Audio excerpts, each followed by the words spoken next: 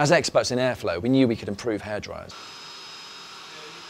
The problem with conventional hairdryers is they have conventional motors. They can be large, bulky and slow. This tiny fan we see in front of us, this impeller, is only 27 millimetres wide and spins up to 110,000 RPM. Because of the high speed of this motor, it allows us also to generate high airflow pressures. The Dyson V9 draws in 0.8 metres cubed of airflow per minute, but that gets amplified as the air passes through the air multiplier technology to 2.4 metres cubed per minute. To dry hair, you need a combination of velocity and temperature. So if you just had heat, for example, it would evaporate the water from this hair, but it would take a very long time.